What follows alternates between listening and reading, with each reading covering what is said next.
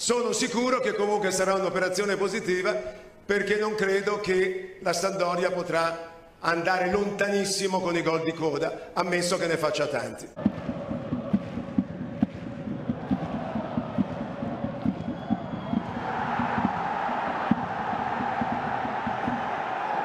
Una cosa, delle volte l'indifferenza è anche un segnale di forza e così